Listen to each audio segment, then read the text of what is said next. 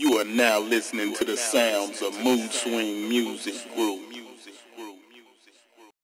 What's up and welcome back to the channel and today I got a special video for you man. Today we gonna get into some DIY acoustic panels. So if you got your own studio man and you're trying to get those monitors to sound the best that they could possibly sound, I suggest that you get yourself, either you purchase them or you can make your set of acoustic panels. So what I did first, I made me a list and went to my local hardware store. And here's the list.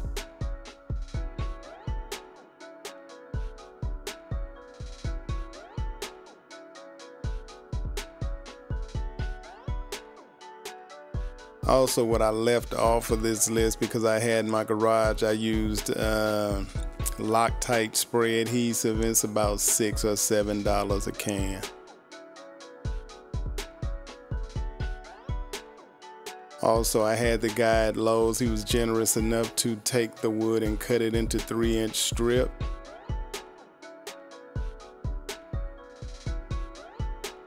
So we got the MDF cut into three inch strips. The top piece, top and bottom pieces are 16 and a half inches. The side pieces are 47 inches and the braces are cut to 15 inches.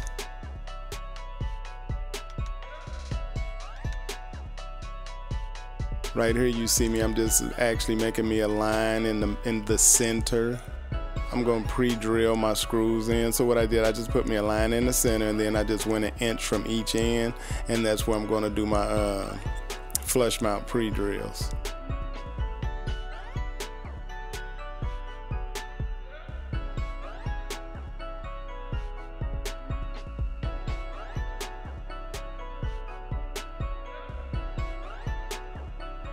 And also I have Loctite glue on here also, like the type of glue you would use if you were making a uh, speaker enclosure. Here I am actually putting the screen on after the frame is put together. As you can see, all pieces are put together. I'm taking the screen and I'm just basically, I measure it out, lay it across there. It fits perfect if you measure your uh, frames out and there it is with the screen on it and then I'll flip that over and then I'll insert the actual acoustic treatment on the inside of the frame with the screen on it. And here you see me just inserting the first piece of acoustic treatment. It actually fits perfect if you follow the guidelines and do the measurement like I said earlier with the 16 and a half top and bottom the 47 on each side that piece of uh, acoustic treatment safe and sound will fit right in I got the 16 inch safe and sound acoustic treatment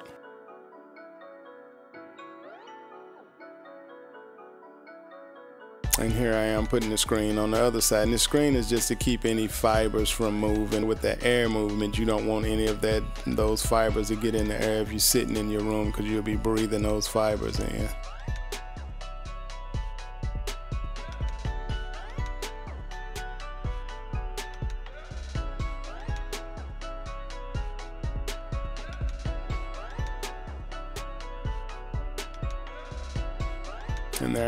Stapling it on it. You want to tug it tight. You don't want to make it too tight because it will rip on. You just want to make it just tight enough to be just a little firm against there. And actually it's going that screen is going to help you wrap it with your fabric.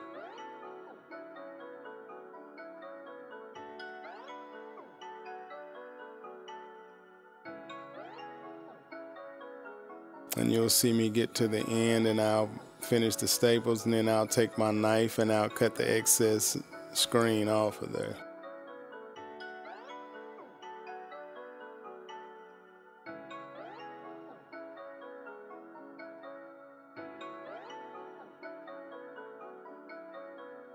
I made these panels for right around $23 a panel.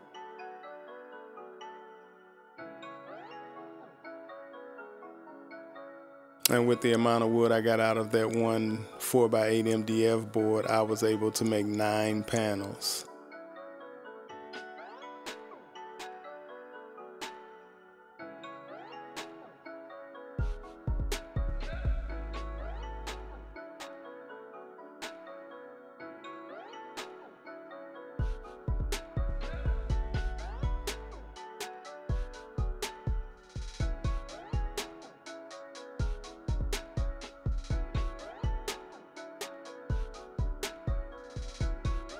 I got my staples about, mm, I'm gonna say about two and a half inches apart around the entire frame.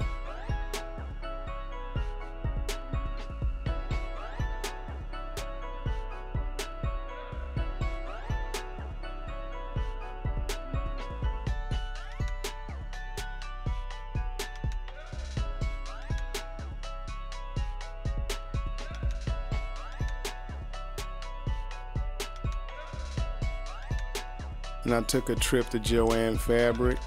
And guys, I'm telling you, when you go in here, it's like a candy store. So do not do the goofy and get any of this colorful fabric.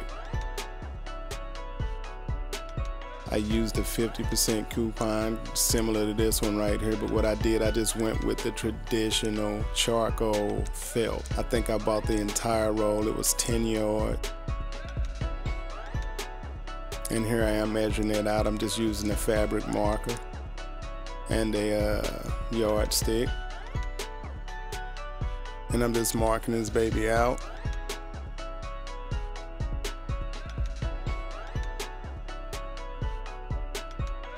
my wife is going to cut it because I'm not really good. I'm I'm pretty good at just about everything, but when it comes to using a pair of scissors, I just get a little loosey goosey, kind of. Uh, I tend to mess things up a little bit, so I let my wife, who normally cuts fabric because she's a seamstress, she jumped right in there for me and cut all my panels for me.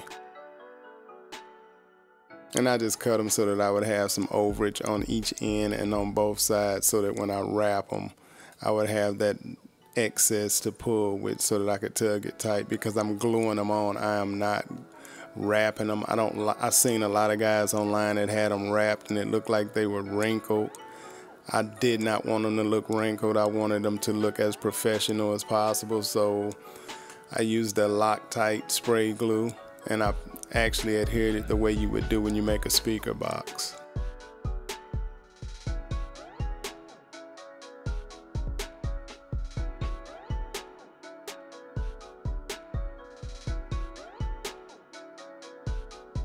And as you can see, she's cutting a nice straight line. And that's exactly what I wanted because I wanted each one of them to be totally even so that when I wrapped them, it would come out perfect.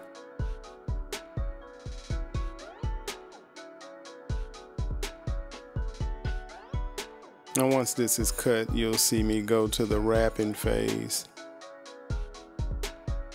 And here it is on the table with a little bit of excess and you're gonna see me I got it laid down. I laid the frame on top with the acoustic treatment in there even around all sides. And now I am spraying the actual frame. And then I'm gonna spray the actual material also so that when I put them together they'll actually bond together pretty tight. So what I did I actually let it sit up for like a minute minute and a half on each side and I sprayed it generously. I did not save any of the glue because I didn't want anything coming apart. I, want, I wanted to do it one time and one time only. So you just want to touch it and see when it's tacky. Once it's tacky, you can go ahead and start putting it on.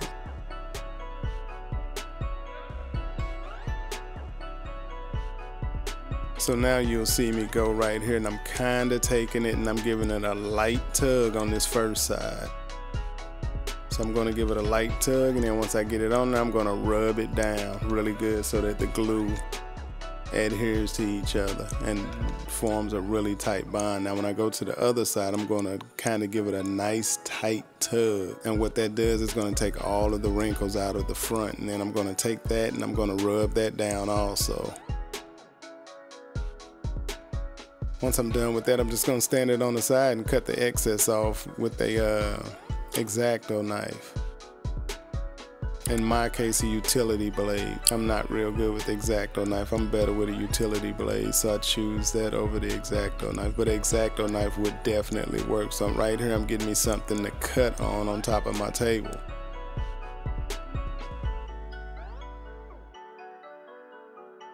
And I'm basically just gonna lay it, I'm gonna stand it on its side, and then I'm gonna cut that excess off, and you're gonna see how smooth of a cut I get. One thing, one tip I can give you is make sure you buy new blades and keep a new blade in your knife because as you cut through this glue, your blade is gonna get really sticky and start to stick to the material, and it's gonna give you some raggedy edges if you don't keep a new blade in there. So I made like 10 panels and I may have went through about four blades. So it don't it's not that bad, but it will get caught up. And as you can see when I'm cutting it, you can see the material wanting to kind of gather because it's sticky with that glue.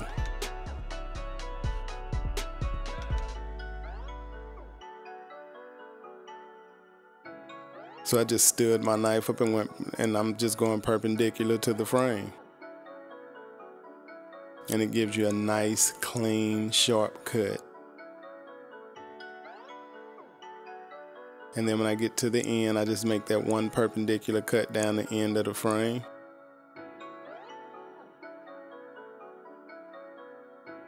And then I cut that excess off from the side.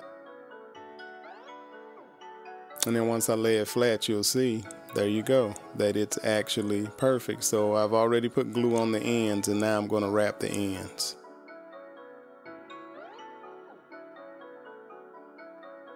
Making sure they're tacky and then here we go. And I'm just going to take it and rub it down all the way in the end and make sure it's rubbed down really tight. And then from there, I'm just going to stand them on the edge and cut all the excess off and you will have a completely wrapped panel. And then once I wrapped them, I just put some sawtooth, some large sawtooth uh, hangers on the back. I put two on each panel. And then I took some drywall anchors and some uh, screws, and that's how I hung them on the wall in the studio. It's really a, it's really a simple process, guys. Uh, and one thing I can definitely say, once you do it, once you acoustically treat your room for real because I had Auralex foam in my room for years and I just did not like the way it was sounding but once I put these panels in the room I'm telling you my monitors sound impeccable so I, I, I, highly suggest that anybody thinking about acoustic treatment, just go ahead and do it. Take a Saturday and just make your panels. I promise you, I think I did all my panels in like two days. It might have been a couple days, just me doing a lot of prep and getting stuff ready, but a couple days and I had all the panels put together.